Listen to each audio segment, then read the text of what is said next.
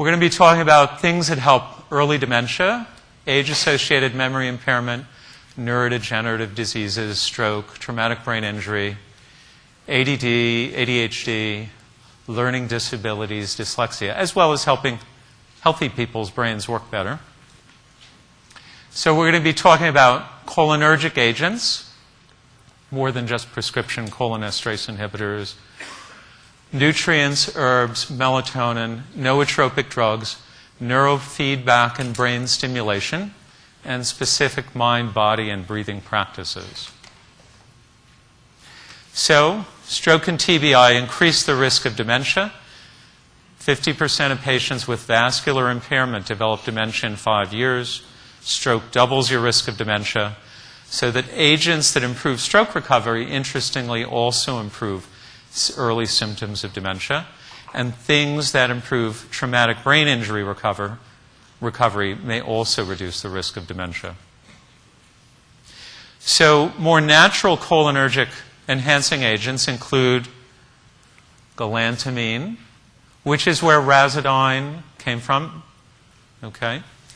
Huperzine from China, centrophenoxine, several thousand papers on centrophenoxine since it first came out of Europe about 50 years ago, acetyl L-carnitine, and CDP choline. There are a few other things, but I wanted to focus on the things for which there's the most data.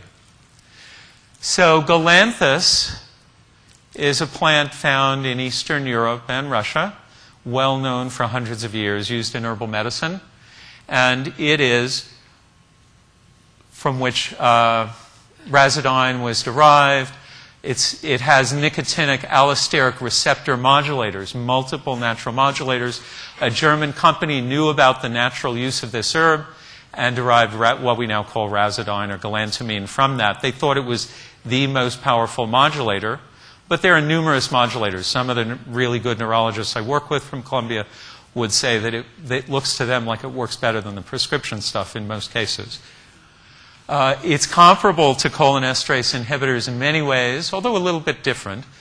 Uh, it is much better tolerated. There is much less GI upset than the prescription drugs. Galantamine and others are preparations on the market.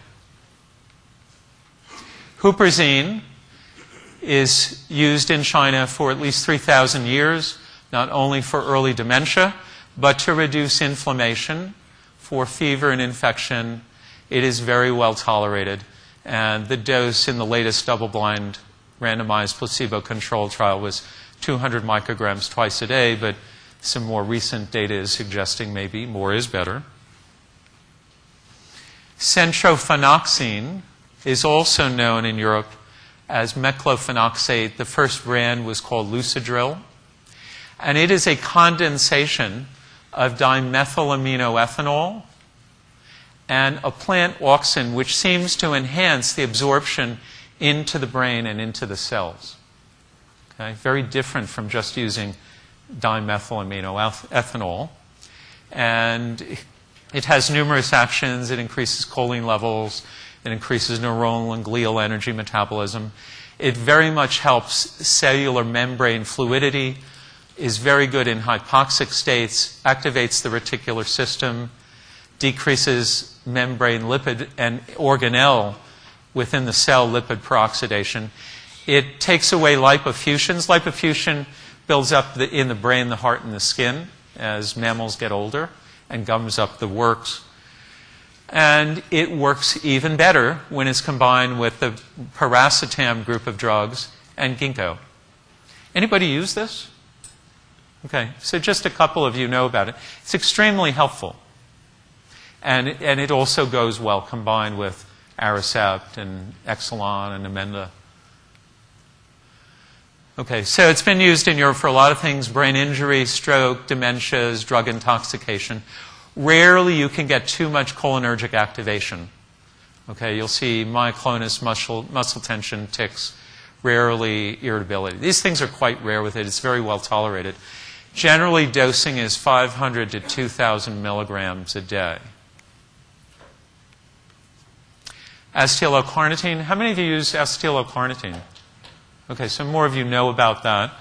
Uh, increases choline Acetylcholine membrane phospholipids, improves mitochondrial energy and other pathways, increases uh, nerve growth factor binding, decreases excitotoxic amino acids, increases dopamine activity, and has other benefits. It looks like it's extremely good for reducing effects of early diabetes within nerve cells and other blood tissues, uh, vascular type tissues. So, used for ischemia, used for diabetic and other neuropathies, mildly prevents Alzheimer's, okay, if it started before age 60. Can be useful in geriatric vascular depression. Side effects heartburn if taken on an empty stomach. Rarely it will cause mania in a bipolar patient, probably from dopamine release. Uh, and it's common to find a 500 milligram strength on the market. 1500 milligrams twice a day is not an uncommon dosing in studies of cerebrovascular disease or, or geriatric vascular depression. And there's evidence that it delays brain aging. Uh, there are over 30 studies showing it slows age related mental decline, slows progression of Alzheimer's, and has been tested in numerous other things, including peripheral nerve injury and neuropathy. Now, there's also data using acetyl L-carnitine, which seems to probably, this has not been well tested, but it looks like clinically, acetyl L-carnitine has better absorption into brain cells. L-carnitine, particularly propionyl L-carnitine, has good absorption into heart and voluntary muscle. So sometimes the two together have benefits. This is from a study of chronic fatigue using the, either, either alone or the combination for 24 weeks. Acetyl-L-carnitine helped ratings of mental fatigue. Propionyl-carnitine helped physical fatigue. All three groups showed improved attention. There's also data that the two of these are equivalent to Viagra over time in patients with relatively mild to moderate erectile dysfunction. And again, that may have to do with insulin glucose properties. CDP choline. How many of you use CDP choline? So, again, only a few of you. Um, interesting. It has many, many double blind controlled studies, particularly in traumatic brain injury. Improves cell, nerve cell membrane integrity. It is neuroprotective. It improves mitochondrial activity is good in hypoxic states, improves lipids uh, in the membranes of the organelles and the nerve cell, improves SAMe levels and methylation in animal studies, decreases inflammatory chemicals in the brain, improves levels of these transmitters, and even a relatively small dose quickly, within a half an hour, raises ATP and creatine levels in anterior cingulate cortical cells.